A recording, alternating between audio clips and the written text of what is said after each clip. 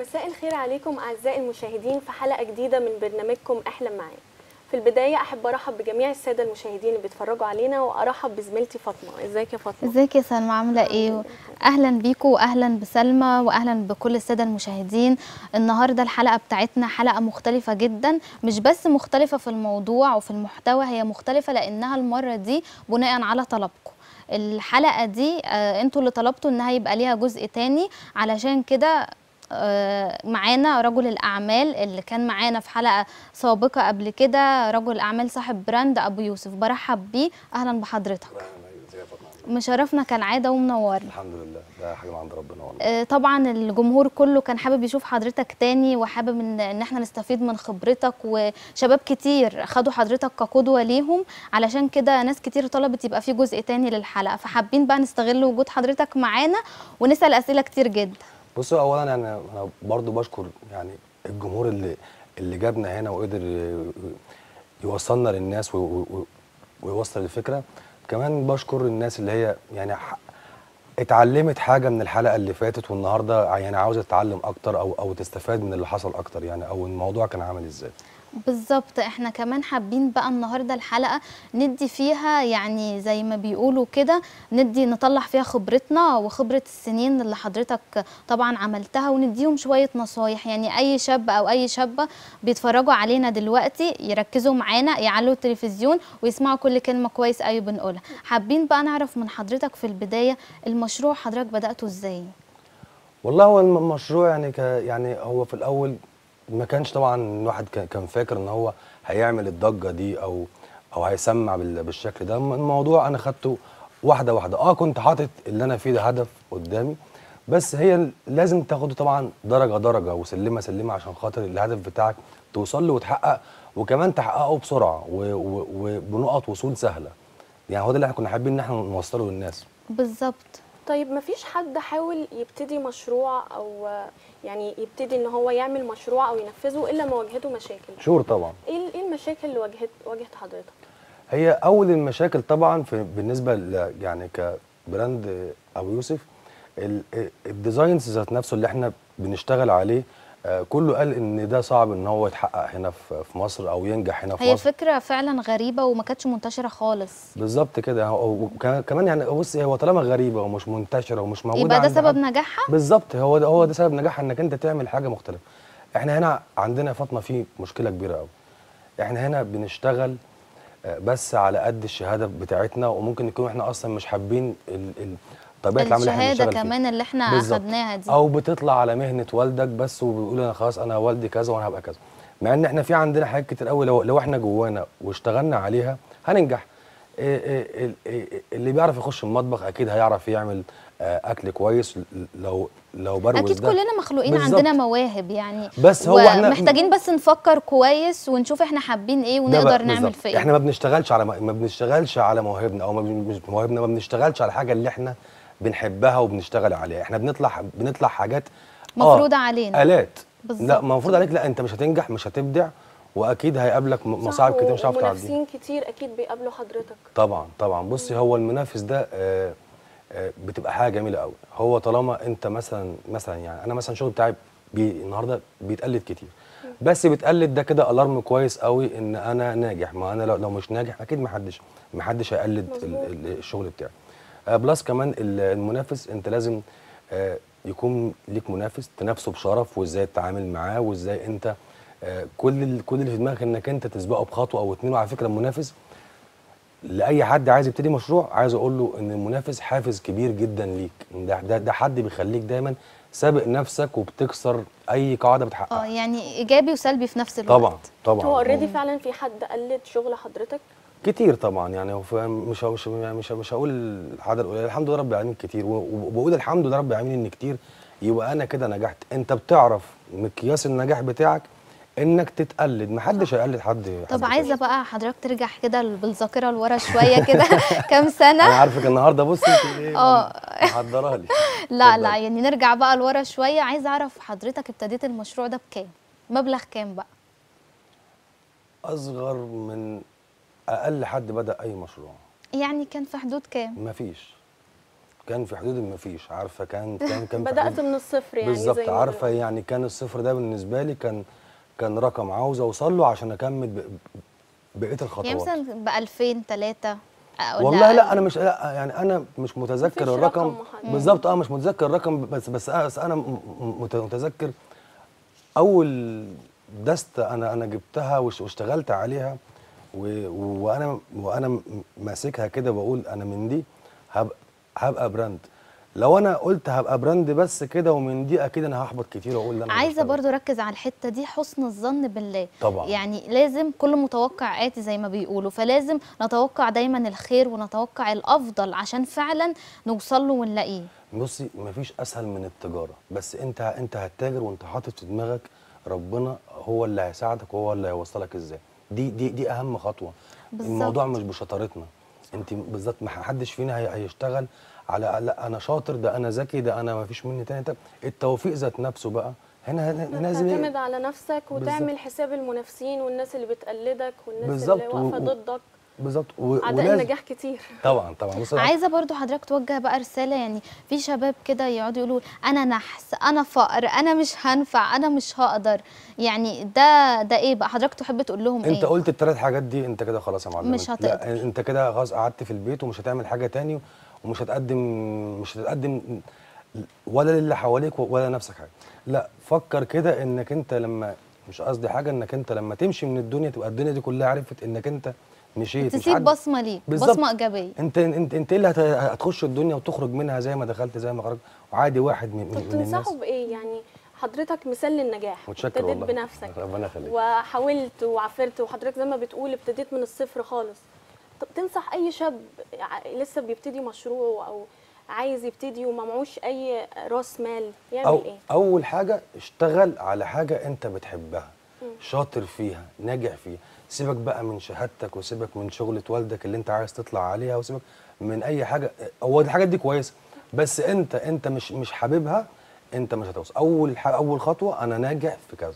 أنا بعرف أرسم أدي سبورت كده ودعم لنفسي الأول عشان أتحط على اول الطريق. طبعا ل- لأنك أنت لو لو مش شغال حاجة أنت بتحبها مع أول كعبله طبعا دي دي بتجي لنا كلنا مع أول كعبله خلاص أنت مش هتعمل حاجة. طب حضرتك تنصح الشباب اللي ع- اللي عندهم أفكار دلوقتي وأحلام كده وعايزين يبتدوا في مشروع تنصحهم مثلا يعملوا المشروع ده ب- بميزانية عالية ولا ميزانية بصفر. بصفر؟ بصفر. لو معاك الصفر الصفر ده رقم كبير قوي كفاية إن أنا إزاي؟ يعني يبتدي بخبرته بس كده. من غير أي فلوس؟ أبتدي بحاجة أنا حاببها. أنا يعني طيب بعد إذن حضرتك. إحنا معانا مداخلة من أم تيا ألو؟ ألو السلام عليكم. عليكم السلام. أهلا بحضرتك. إزيك؟ الحمد لله بخير والله. منوران. ده نورك والله. منور يا أبو يوسف. نورك والله أنت عاملة إيه؟ إيه أخبارك؟ الحمد لله. أخونا الكبير حبيبنا أبو. يوسف. والله الاتصال بتاعك ده يا متيه ربنا يخليك يا رب. والله من حضرتك جربتي المنتجات بقى بتاعت أستاذ. أبو يوسف؟ نعم. حضرتك جربتي من المنتجات بتاعت أبو يوسف؟ اسكندرية كلها جربت المنتجات. ما آه، ما شاء الله. ما شاء الله. والله يا متيه ربنا يخليك. طب إيه رأيك فيها بقى؟ قولي لنا رأيك كده. لا ما شاء الله يعني خامة قطن و brand. هو المفروض يبقى brand ده. إن شاء الله بإذن. الله. متشكر والله. آه، ربنا يخليك يا ربنا رب. يخليك يا رب. متشكرين لاتصالك يا متيه ميرسي لحضرتك جدا. شرفتينا. ما شاء الله معجبين حضرتك الحمد لله رب كتير العالمين. ال- عايزة بقى أرجع لحضرتك عايزة أعرف هل العامل النفسي سواء للي, هيبتدي مشروع الشاب اللي هيبتدي مشروع أو العميل اللي جاي لحضرتك ده ليه تأثير وليه دور؟ طبعا. إزاي بقى؟ اشرح لنا بقى الحتة دي. العامل النفسي لل- للعميل اللي أنا هشتغل عليه هبيع له. أنا لو جبت له منتج زيه زي مليون منتج وقلت له خد ده هيعجبك أو مش هيعجبك. أو حد مثلا لسه داخل في موضوع الماركتنج جديد فحد بيقول له أنت اعمل صفحة فيسبوك واعمل, sponsor وكده أنت نجحت. لا أنت ما وصلتش لحاجة. أنت عندك عميل كويس لازم العميل ده أول حاجة يحبك وي- وي- ويحب اللي أنت بتشتغل عليه. مش هيحب ده غير لو حس إنك أنت already أنت كمان حابب ده. ومع والحاجة برضو طالعه بحب. يعني بالظبط. الحب بيبان حتى في في المنتجات البسيطة بيبان فيها برضو. بص بيبقى ليه بصمة. الفرق. الفرق بين حد ناجح وحد مش ناجح ده حد بيحب الحاجة دي وده حد تاني واخدها ك business واخدها business وشغلها وشغلها شغلانة. محدش بيوصل. أشهر يعني أشهر المذيعين وصلوا عشان بيحبوا. أشهر الممثلين أشهر ال brandات أي حد وصل عشان هو بيحب الحاجة دي. طب إيه تحليلك بقى لمستقبل الصناعة في مصر عموما؟ الصناعه الصناعه المصريه حاجة مهمة جدا وحاجة لازم نشتغل عليها وحاجة و و و وده منتج بلدنا ودي حاجة ما فيهاش أي كلام بس إحنا المفروض إن إحنا مش قصدي حاجة على فكرة مصانعنا فيها أج... يعني أحسن المكان عندنا آه آه العمالة اللي عندنا والتوظيف مصر بتاعنا- كلها خير سواء بالظبط. أيدي عامله أو. ش- الشباب اللي في مصر ما شاء الله هو بس حد مش مش حد يوجهه هو بس حد يعرفه هو الطريق إزاي يحطه على بداية ب- الطريق. بالظبط كده بالظبط. بس إحنا لازم أول حاجة إحنا هنا نحترم الصناعة المصرية إحنا كمصريين نح- نحترم المنتج بتاعنا عشان لما نطلعه بره هو كمان يحس إن إن اللي عمل ده محترم حاجة زي كده محترم إن هو بيعمل آه، شراب آه، زي زي كده هو حاجة كانت بالنسبة للناس كلها حاجة عادية شراب اسمح لي أقول لك إيه. اللي يميز المنتج أو البرودكت حضرتك عن المنتج المستورد مثلا يعني مثلا لما حد بيروح الأسواق أو كده دايما الناس بتميل للمنتجات المستوردة وما يعرفوش إن المنتج المصري أحسن منتج بخامة وجودة وشكل. إيه اللي- إيه اللي يميز ال- المنتج؟ اللي يميز هو حاجة جميلة وكلنا لازم نشتغل عليها إن المنتج المستورد هو مش ملوش دعوة بذوقنا. ما إحنا إحنا ما هي إيه- إيه، لكل مكان ليه- ليهم ذوق لازم يتفصل. ما ينفعش أجيب ذوق أوروبي ومنتج أوروبي وستايل أوروبي. واقول هو كده خلاص ده كده ال brand ما أنا هجيبه مصر إحنا في مصر بس ما بنحبش ال colors ده ما بنحبش ال design ده أو ما بنحبش مثلا. الألوان الهادية أو دي حاجات بتاعت اجانب إحنا في. مصر بنحب مثلا حاجات على ذوقنا مش قصدي إحنا بنحب حاجات بتعمل. على حسب المجتمع بالظبط اللي إحنا أنا فيه أنا. عايزه أنا أنا عايزه أديكي مثلا product زي كده مثلا شراب cute قوي عشان خاطر أنت يعجبك ده ذوقك لكن لو هجيب لك حاجة سيمبلي قوي مثلا زي بتاعت أوروبا مثلا هجيبها لك ما ممكن ما تعجبك لازم أميز نفسي وأميز المنتج المصري و... ودايما وأنا ببيعه أ- أبقى فخور إن ده مصري. صح. وإن اللي عامله شباب بلدي وان, وإن, وإن اللي بيشتريه برضه ش- ش- ش- شباب البلد. لازم إحنا كلنا نشتغل على ده ونفتح مصانع أكتر. صحيح. ال- ال- المصنع الواحد يا جماعة بيشيل عدد كبير قوي يا فاطمة والله العظيم هي الصناعة. دلوقتي يعني حضرتك شايف إن هي رايحة على فين؟ رايحة المكان أفضل؟ طبعا. رايحة يعني مش لمكان لمكانة. بالظبط. مكانه الص- الصناعة المصرية النهارده لا بقت النهارده بتحترم بقت بتتصدر. كمان في ظل كمان ظروف كورونا وال- والكلام ده فبقى الموضوع بقى اونلاين أكتر وكمان ثقافة المجتمع نفسها بدأت تتغير إن لا مصر فيها منتجات كويسة وأسعار كويسة وبراندات عالية. مش شرط بقى إن إحنا نروح بره ونجيب من أوروبا نجيب من هنا أو من هنا. دي الثقافة برضو عندهم بدأت تتغير وده في حد ذاته شيء حلو جدا. دي المكانة. اللي بالظبط هو أنا- ال- مش مكانها فين لا بقيت مكانتها إيه عند العميل عند الناس بره. دي حاجة كويسة على فكرة إحنا في طفرة صناعية ما كانتش موجودة السنين اللي فاتت. طيب عايزة بقى حضرتك هنروح في حتة بعيد قوي عن اللي إحنا بنتكلم فيها. اتفضلي اتفضلي يعني الأسرة بقى. الأسرة طبعا أكيد ليها دور إن هي تطلع الشاب أو الشابة شخص طموح شخص بيعرف يفكر عنده أحلام يقدر يعمل مشروع ناجح. فحضرتك بقى تنصح الأهالي بقى الشباب دول يبقوا إزاي يساعدوهم؟ ال- إيه المفروض يعني الأسي- الأساسيات اللي يغرزوها فيهم علشان يطلعوا شباب قادرين إن هم يفكروا ويحلموا ويحققوا؟ دي سهلة جدا. أنا كده الكاميرا معايا. بص أقول لي أقول لك على حاجة لكل أسرة لو لقيت ابنك أو بنتك بيعمل حاجة سيبه يعملها ما تقولوش دلوقتي لأ اللي انت بتعمله ده الرسم اللي انت بتعمله ده عاد يلا سيب. إيدك ده وخش. دلوقتي مش بقول حتى ما تذاكرش لا أيوة. خش دلوقتي ذاكر وخش اعمل لأ ده بيعمل حاجة جميله انت نميه صح انت انت ما تحبطوش خالص. بالظبط مم. انت انت نميه انت اشتغل عليه انت كبرها له انت يعني زي ما بنقول ما نكسرش مقاديفه كده من الأول بالظبط. بالظبط ما يبقاش ابنك بيرسم مثلا لو لقيته بيرسم رسمة طيب إحنا دلوقتي معانا اتصال من الأستاذة داليا من الهرم ألو؟ ألو مساء الخير. مساء النور إزاي حضرتك؟ آه تمام الحمد لله. منورانا آه الدنيا كلها منورة بحضرتك وبالمذيعات. الحلوين ميرسي لحضرتك. وباستاذ ابو يوسف ربنا يخليك ربنا يخليك يا رب. لا. بصراحة أنا عايزة أشكر في البراند جدا خامات وموديلات آه، بصراحة حاجات كلها جديدة بترفع من المعنويات كده. آه، بنحس ببهجة وإحنا أصلا يعني شغالين فيها. متشكر متشكر. ده ده شغلكم وده تعبكم وأنتوا اللي وصلتونا لهنا والله يا أستاذة داليا. و... ربنا يخليك يا أستاذ حد من المتفاعلين معايا يعني وحد من الموجود في كل وراك ناس كده جامدين إن شاء الله. متشكر والله. وإن شاء الله نكون واجهه لحضرتك و و و و وبالمناسبة طالما أنت يعني طالما أنت مع- مع- معايا معايا معايا كده أنا حابب بجد أوجه رسالة شكر لكل إخواتي اللي هو حولناه من عميل لبقى أخ فعلا. هم عددهم كبير طبعا بسم الله ما شاء الله بس من عميل لأخ فعلا. إحنا متواجدين معاه حتى في تفاصيل حياته. بشكره على تعبه بشكره على على, على مجهوده. وإن شاء الله أنا عاوز أقول له إن نجاحك هو اللي إحنا بنتكلم بنشكر. أستاذة داليا جدا على اتصالها. آه، كنتي مشرفانا ومنورانا. نرجع بقى للاستاذ أبو يوسف ونرجع لموضوعنا. اتفضلي. آه، عايزين بقى نعرف من حضرتك هل بيبقى في مشروع كده؟ المشروع ده مثلا يعني يبان إن ده هينجح و... أو إنه هيفشل مثلا ولا لأ؟ يعني أي مشروع ندخل فيه؟ ولا يعني في حاجة بالعكس. ممكن مشروع ممكن نتجنبه ولا. حاجة إيه؟ مضمونة يعني؟ لا ده لا ده ده أنا يعني عاوز أقول لك إن معايير الفشل بتبان في أول كام خطوة بتشوفها قدامك صريحة.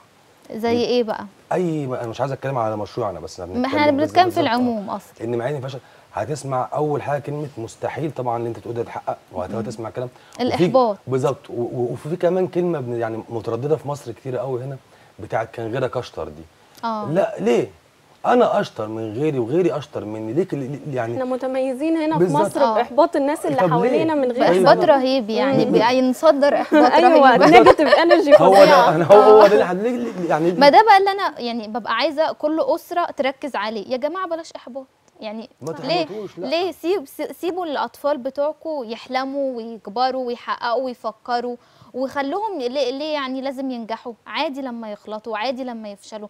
طبيعي كل الحاجات دي هتعلمهم وهتبقى تجارب ليهم هيستفيدوا منها بعد كده. صح؟ حتى لو. في شاب طلب من أهله إن هو آه، إديني فلوس مثلا أعمل أبتدي مشروع معين ما يقولوش لأ ما يقولوش آه، ما ينفعش أو كده يجرب.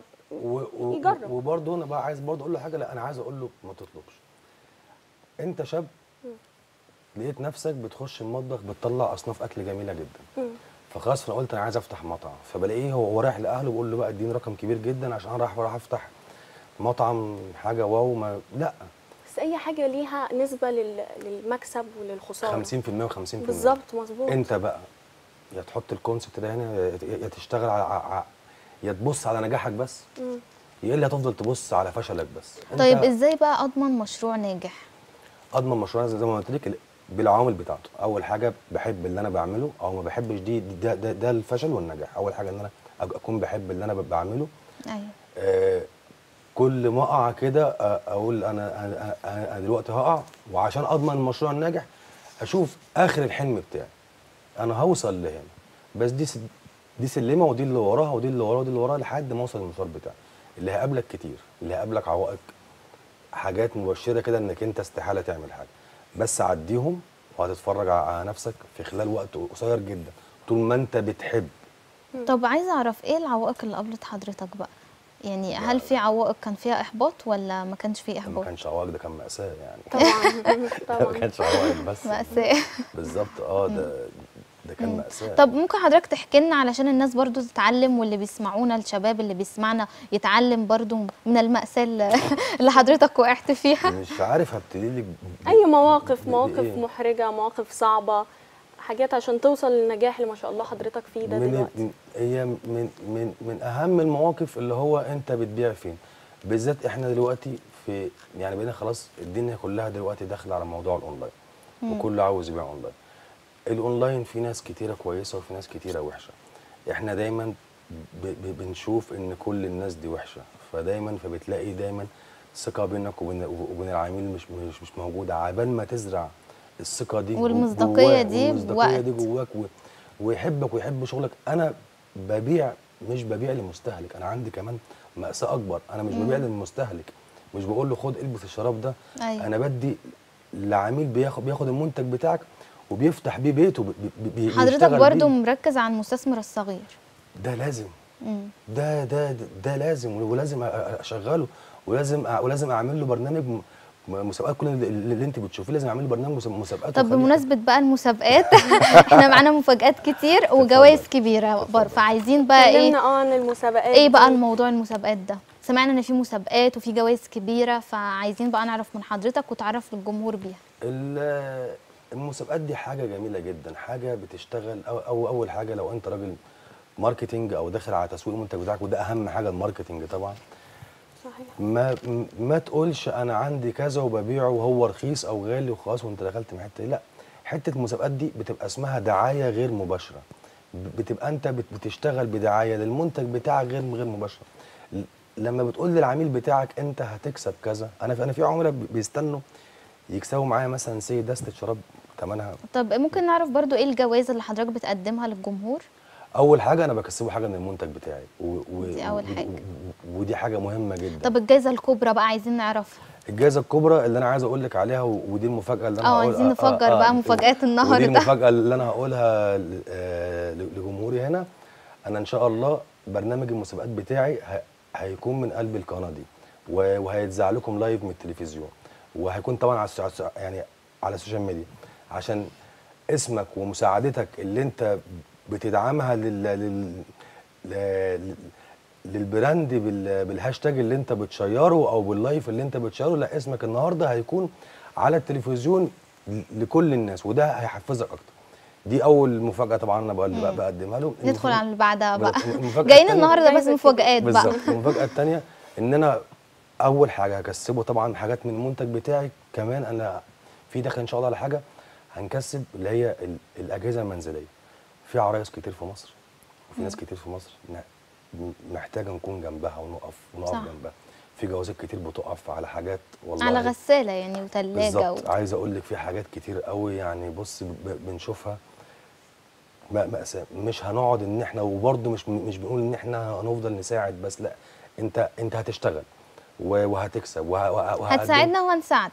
بالظبط كده. وال- وحكاية الأجازة الم- الم- المنزلية دي دي حاجة بقول لك عشان خاطر آه، إخواتي عرايس مصر اللي, اللي بيجهزوا نفسهم واللي نتمنى طبعا نشوف كل واحدة آه، قد الدنيا إن شاء الله. هنعمل لهم مسابقات وجوائز أجهزة منز- منزلية. بكل مقاييس يعني يعني كل يوم هي- هيكون إن شاء الله معايا.